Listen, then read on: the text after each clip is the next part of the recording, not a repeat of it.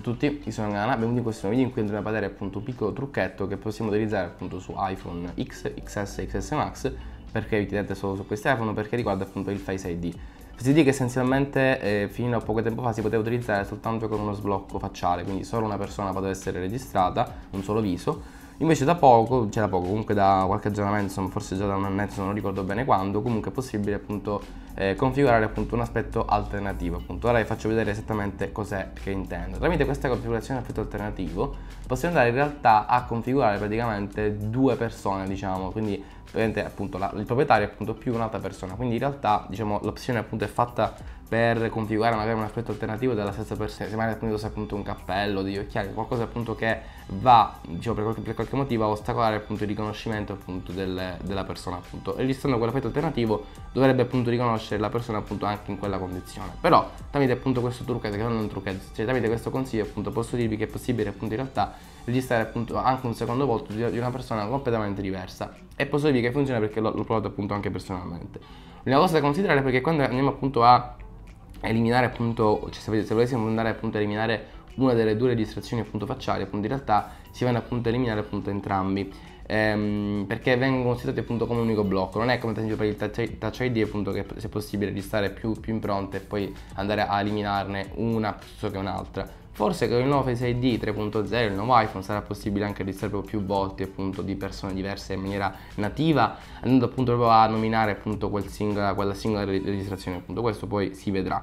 Um, comunque, allora, passiamo appunto a questa brevissima guida, così potete appunto anche registrare, sapete appunto come registrare due volte di persone appunto diverse, magari può essere un'amica, compagna, moglie, fidanzata, figlia, quello che volete. Come dicevo appunto basta andare nell'app impostazione appunto, dopodiché Face ID e codice, Ehm, dopodiché appunto qua io in realtà ho già fatto appunto ho già configurato l'altra diciamo l'altro diciamo l'altro, l'altro viso quindi andando appunto a fare da Face ID in realtà praticamente eh, si, va appunto, si, si, vanno a perdere appunto entrambi. Se io clicco su configura Face ID faccio vedere che essenzialmente appunto dopo che vado appunto a registrare il mio volto lo faremo in diretta anche se è una cosa un po' imbarazzante perché diciamo vedete me che giro il volto ma purtroppo la procedura è questa anche se in realtà ho fatto veramente molto veloce. Più veloce rispetto a quando penso sia uscito iPhone X o comunque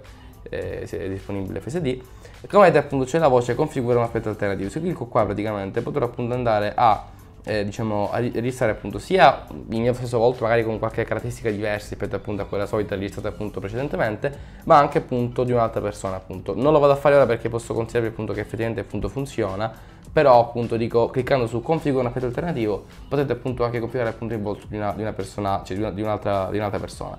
um, perché vedete appunto invece il Face ID uh, due cose che vi consiglio appunto di, eh, di, diciamo, di attivare appunto sono questo qua richiede di guardare questo Face ID e rilevamento dello sguardo cosa vuol dire? Nel primo caso appunto dice appunto che eh, la fotocamera offre un ulteriore livello di sicurezza verificando che tu stia effettivamente rivolgendo lo sguardo verso iPhone prima di sbloccarlo cioè in pratica se appunto dovete usare Face ID e c'è questa funzione attiva, se voi appunto avete gli occhi in realtà rivolti verso un'altra parte, ma comunque il, il vostro viso è, di, è, diciamo di fronte all'iPhone, il vostro iPhone non si sbloccherà come misura appunto di sicurezza. Se invece voi effettivamente state guardando là, cioè la fotocamera, insomma il sensore, allora lì, lì, lì sì che, si, che si sbloccherà. L'altra cosa invece riguarda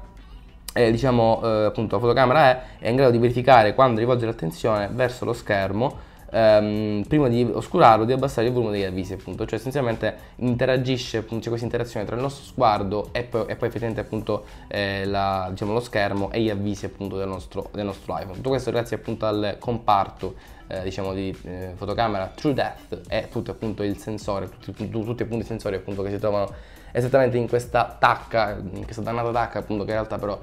come potete, come potete, vedere appunto in realtà si, si rivela appunto abbastanza utile. Quindi ragazzi vi ringrazio per questo, questo video vi invito a, a, lasciare un mi piace appunto un commento seguitemi su Instagram il profilo si chiama GanaY2 cioè YouTube. Eh, se volete appunto altri video su qualcosa domande cose fatemele appunto nei commenti io sarò lieto appunto di rispondervi. Vi ringrazio per questo, questo video ci vediamo sempre qui sul canale di Gana. Un saluto a tutti